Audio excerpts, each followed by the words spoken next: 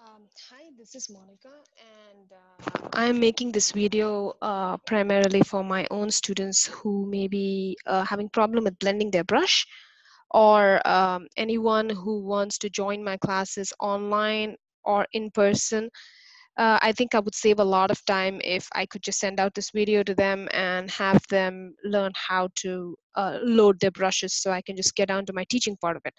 So um, before I start, I would say about blending brushes, I used to use these plates most of the times, you know, the foam plates. This is how I used to blend on them. And uh, uh, I've kind of changed my ways of blending. I, I use a tray like this. This is actually an old cookie cookie cookie uh, sheet tray, you know, the thin ones, and it has a lot of paint and it's it's really messed up old tray. Instead of throwing it out, I've become a fan of recycle and reuse. So I just put a paper towel underneath and then I put a wax sheet on top. So this is a wax sheet, and then this is a paper towel underneath, and then the, the trays underneath that. Uh, typically, you would want to kind of uh, fix it all with a sellotape on the side so that it doesn't move. But for beginners, you know, I do this because it's also more environmentally friendly. But for beginners, uh, you may want to start with this so that you don't have all this additional hassle of uh, doing all this and just getting your uh, blending right first. And then uh, as you start painting more, I would suggest to shift to this kind of a method to just save the plates and uh, that you do. All right, so this is a dry brush and now I'm dipping it in water and one stroke we don't use water but it's important to dip it in water because sometimes i use a layer of soap to kind of uh, put all the bristles back together after I finish washing the brush. So it's very important that you do put it in water.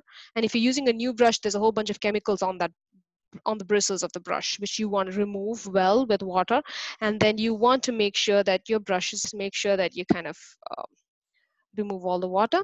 And a good chisel is very essential for one stroke. Chisel, as the name suggests, is is it, the, the bristles have to come together into a point there, flat okay and you want to make sure that it's all together there and uh, that's all you need before you start so uh, in my class you may hear me say let's take a 50-50 on this brush or let's take a 3-4 when I say when I use terms like that, when I say 50-50, it means that the brush needs to have 50% of each of the colors that we're using. So in this case, there would be a triangular patch of red here and a triangular patch of yellow here. And um, three fourths means that you would have more of whichever color I'm telling you to take more of. Like I would say three fourths red, which means automatically the yellow would be the quarter or the smaller side of the brush. Uh, in terms of the amount of brush, uh, amount of um, paint you want to load vertically or the or through the length of the brush, you must make sure that your paint stops at the three fourths level across the brush. You don't want paint to go in all the way till your ferrule or the metal part because uh, that's where the paint starts drying and that is the worst thing for your brush. So even in the middle of painting, if you see there's a lot of accumulation of water or medium, sometimes we wash our brushes in between colors, then we don't remove all the water properly. It happens to the best of us. And then you go in and blend and you find all water rushing through here. I, I know it can be irritating and painful, but I would stop, remove all the water, rewash my brush, or do whatever is needed to make sure that uh, you know you start off again blending in such a way that your paint does not go in. So if you catch it early on, you may just wipe it off on your paper towel like this, just press out all the water like that. If you don't catch it on time and you see a lot of paint and everything is going in, I would wash the brush and restart. Okay, and since this is aimed at newer students, you must remember that your brush is your best friend. All right, bad brush and you're gonna straight away get bad strokes. So you wanna make sure that you maintain your brushes. Okay, now for a 50-50 load, there are two ways in which you can blend and you can pick the one that suits you. So I would pick up you see that? It's almost like a 50 it's a little less than that because i'll tell you why. And then i'll pick up the yellow. I don't like to go all the way till the center while i'm picking it up because then i have a chance of transferring between the two puddles. Like i may get a little bit of red into the yellow and a little bit of yellow into the red which i don't want. I want my puddles to remain pure. So i'm just not taking a risk and just leaving a little bit of gap in the center.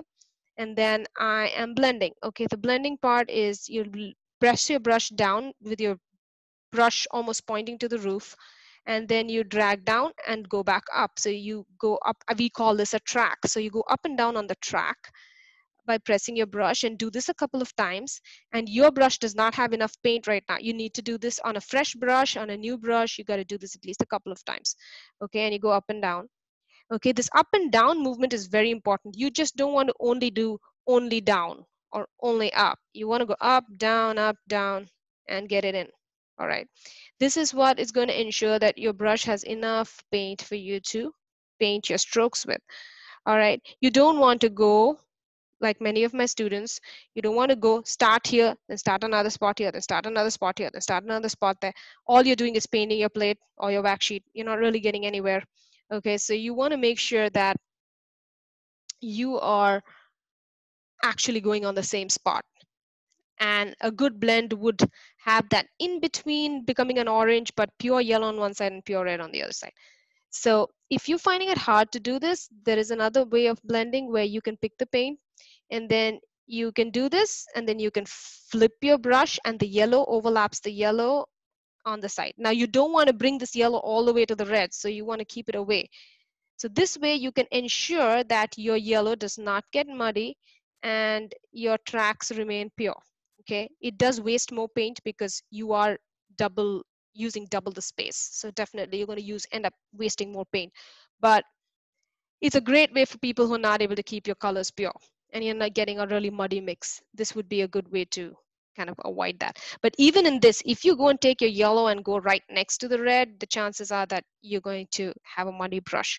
So you're going to have to keep your distance and keep the yellow away from the red while doing it. But it's easier to do here so this is your 50-50 blend. And um, if you have to do a 3 fourths blend, I'm just gonna just wipe my brush off on the paper towel. I'm not really going into water again. And I'm just going to uh, load my brush with a little more red. Okay, you see that? A little more red. And I'm just gonna tip take very little yellow because I don't want to again, you know, contaminate my red I mean, contaminate my yellow with some red. And then see, I'm picking a, I'm, I'm going to be picking a different blending spot because it's less of yellow. So I'm going to go in a different blending spot. And now if you notice what I did is when I was choosing my blending spot, I made sure the red is going to touch the red so that that way, you know, my yellow has no chance of getting red on it. So these are like really small pointers. They may seem really silly that I'm actually pointing these things out, but you will not believe how much of time and energy it will save you if you learn these techniques right from day one. You know, it does help you a lot. So you see that? So if you're finding it hard to do that, you can still use the, this method of blending here too, where you flip the brush the other way. But since you're doing a quarter blend, you need to be even more careful that the yellows are really, you know, just touching only in the edges so that you know you don't get the yellow into the red okay? So when you're doing this you can go multiple times in the same direction and then flip it and then go multiple times in the same direction like that. And now you can clearly in this see a difference between what a 50-50 load looks like and what a quarter and three-fourths load looks like. Now often i will tell you please add floating medium. So Floating medium, this is, this is a FolkArt floating medium. This helps us go on the canvas and on paper. They're both porous surfaces, so often you'll get rough edges and you need to smoothen out your paint. So you're gonna like dip. When I'm dipping, I'm not like dousing it in. I'm just touching the tip of my brush, okay, with very, very little medium. You may not be able to see it in the camera, but it's just less than a millimeter, you know, in terms of the amount the brush is going in it's less than a millimeter. Okay. And then you go back and reblend. Okay. So this is basically how you blend. And the medium is always after you've already blended in and then you tip it and remember to blend it back in before you go on your canvas or your surface. You don't want to dip it into your medium and directly go on your canvas because that's a very common mistake that uh, students make. All right, so this gives you an idea of how you should blend your uh, 3 4 brush. The same applies to your 12, 10.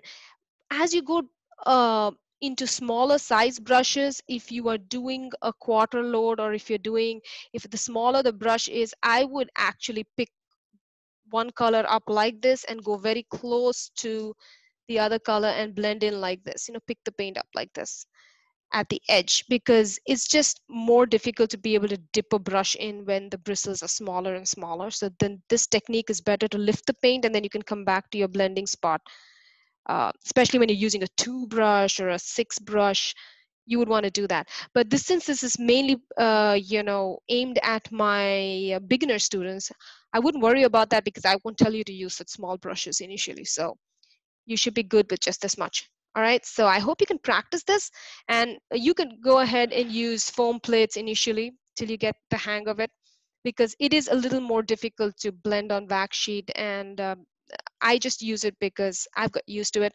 But initially I also started off with these plates. They're very, very convenient. If you do have a plastic palette, of course, that's fine. That's great too.